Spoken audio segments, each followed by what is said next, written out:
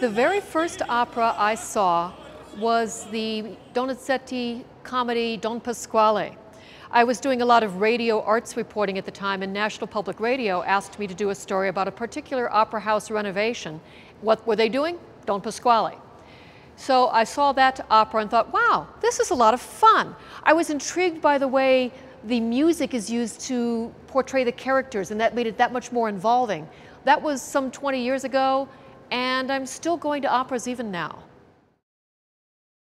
What I adore about operas and the reason why I have seen so many operas, and some of them time and time again, I've seen over hundred operas, some of them many, many times, is that you begin to care about the characters. They really are stories that sing, and the singing part brings you into kind of a friendship with the characters. You care about what happens to them because the music conveys their feelings across to the audience.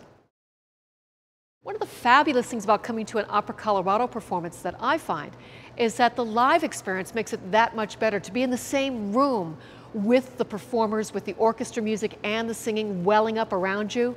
It's rich, it's powerful, it's really immersive.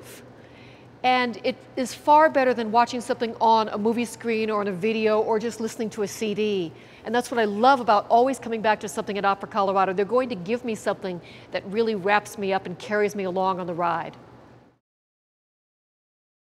Opera is really a multimedia experience with the music itself through the orchestra and through the singers, and the visuals of the sets and the visuals of the costumes and the story that carries you along. And I would love to see Opera Colorado in a position to continue to communicate that to an ever wider circle of people so they too can find the magic of attending a live opera performance. I've been enjoying them for some 20 years.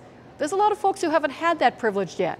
Let's give them a chance and let's hope that Opera Colorado is a place to be able to do that.